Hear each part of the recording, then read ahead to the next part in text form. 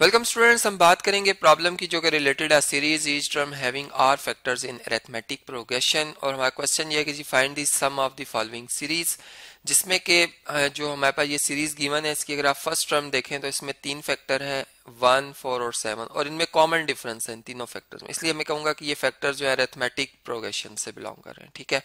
इसी तरह अगर सेकंड टर्म को देखें तो इसमें भी तीन फैक्टर हैं, और ये तीनों ही अरेथमेटिक प्रोग्रेशन से बिलोंग कर रहे हैं। इसी तरह थर्ड टर्म में भी, और प्लस सोन इसकी जो एनथ टर्म होगी, उसके भी फैक्टर्स तीन ही होंगे, ठीक है?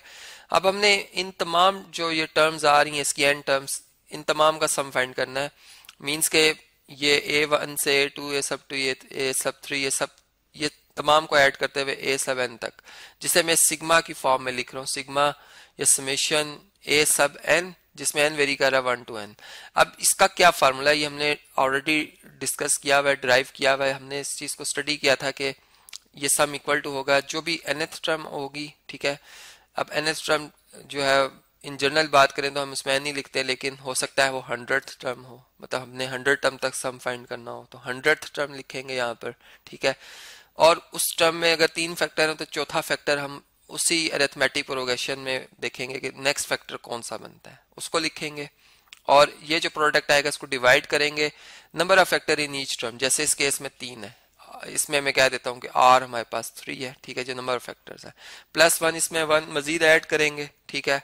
और फिर इसका प्रोडक्ट लेंगे कॉमन डिफरेंस ये जो अरेथमेटिक प्रोग्रेशन आपको नज़र आ रही है, जिसमें कॉमन डिफरेंस जो अगर आप देखें तो फोर में से वन का डिफरेंस या सेवन में से फोर का डिफरेंस थ्री का है। वो हम लिखेंगे यहाँ पे, और प्लस सी कांस्टेंट अब ये वैल्यूज़ हमें रिक्वायर होंगी, जो कि हमें इस क्वेश्चन को सॉल्व करने में मदद देती है। ठीक है? अब सबसे पहले हम जनरल जनरल टर्म फाइंड करने के लिए जो है वर्क करते हैं कि इस सीक्वेंस की जनरल टर्म क्या हो सकती है। ठीक है? मैं इस पोर्शन को कॉपी कर लेता हूँ, ठीक है?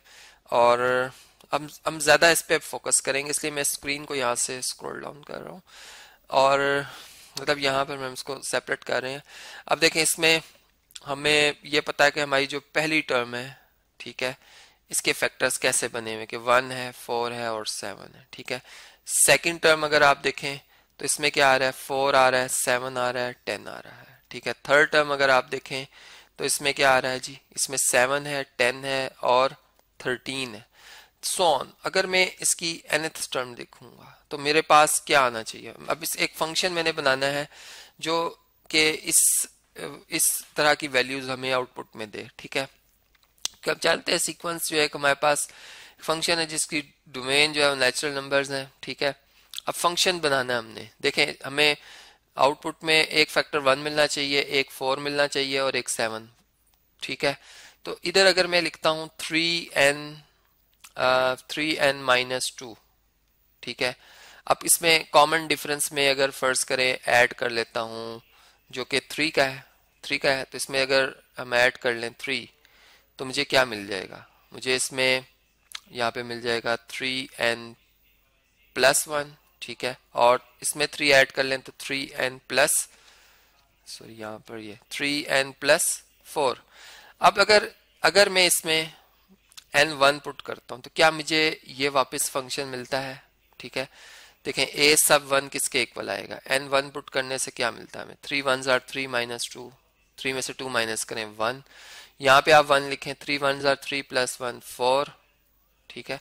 यहाँ पे सॉरी ये फोर लिखना था। यहाँ पे आप अगर वन पुट करें थ्री वन जार थ्री प्लस फोर सेवन तो देखें, हमें फ़र्स्ट टर्म मिल जाती with three factors one four and seven इसी फ़ंक्शन में, इसी फ़ंक्शन में अगर मैं फॉर एग्ज़ाम्पल अगर एन टू पुट करता हूँ तो देखें, मुझे ये सेकंड टर्म मिलनी चाहिए। अब ए सब टू मिल रहा है हमें।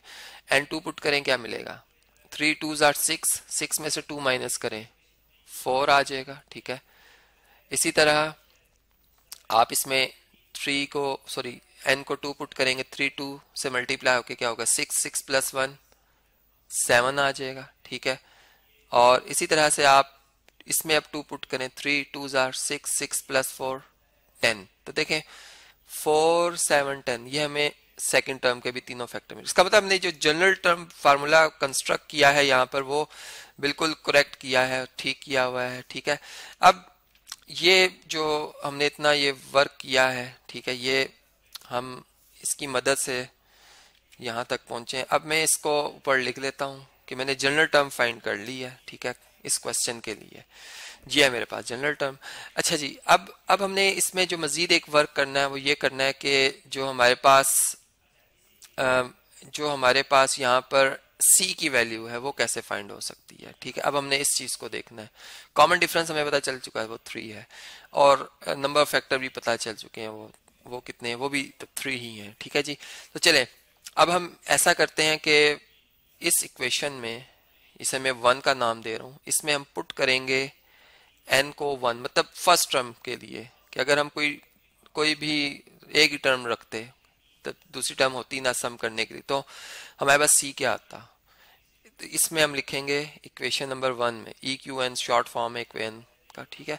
तो देखें, यहाँ पर ये सम तो हमारे पास फ़र्स्ट टर्म ही हमें मिलेगा ए सब वन और ए सब वन किसके इक्वल है? वन फोर सेवन के, ठीक है? दूसरी तरफ़ क्या आएगा? इसमें एन चुके वन लिख रहे हैं टर्म और वो हमारी फ़र्स्ट टर्म ही है। वन फोर सेवन ही आएगा। वन फोर सेवन और अच्छा अब इसमें, इससे नेक्स्ट कौन सी टर्म है? क्योंकि कॉमन डिफरेंस थ्री थ्री का चला आ रहा है। तो आप सेवन में थ्री ऐड कर लें नेक्स्ट टर्म आ जाएगी टेन ठीक है? Divided by number of factors three है, और प्लस वन हमने करना है multiply by common difference common difference भी कितना है? थ्री का है कॉमन डिफरेंस डी और प्लस सी इधर लिख लेंगे। अब हम सी की वैल्यू को कैलकुलेट कर लेते हैं कि ये सी हमारे पास, इसकी वैल्यू क्या आ रही है, ठीक है? तो देखें, ये वन फोर सेवन ठीक है? इन टर्म्स को उठा के इधर शिफ्ट करेंगे, ये नेगेटिव साइन आएगा वन फोर सेवन टेन ठीक है? डिवाइडेड बाय ये थ्री प्लस वन फोर हो जाएगा और इंटू थ्री हो जाएगा, ठीक है? इक्वल टू सी ये हमारे पास आ गया।